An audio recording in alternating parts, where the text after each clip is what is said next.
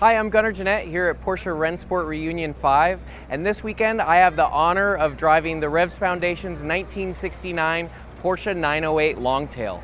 The Longtails were the first versions of the 908s that Porsche built in 1968.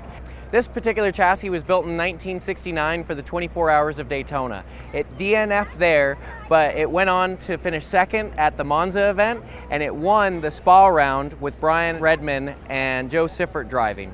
One of the cool things about the Longtail is the very iconic shape. Out of all of the Porsche cars built in the prototype eras, this is kind of arguably the prettiest. It has very, very natural, beautiful flowing lines and a lot of trick stuff about it. Um, this car has uh, very small dive planes to balance out the downforce, keep the front uh, on the ground at high speed.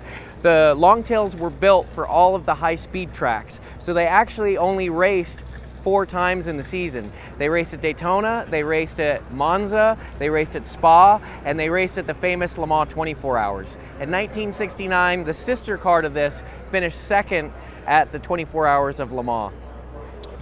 All of the 908s had a 3 liter flat 8 engine with a 5 speed gearbox. But what set the Longtails apart was this long, flowing, beautiful tail.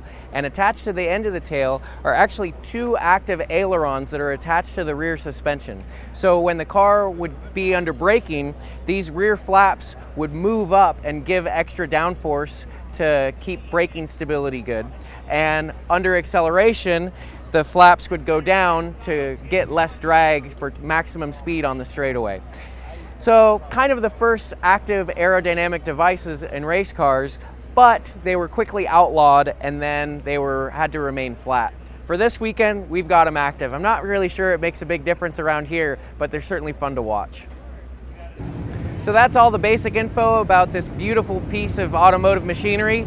Now ride with me for a couple laps behind the wheel and see what it's like around Laguna Seca.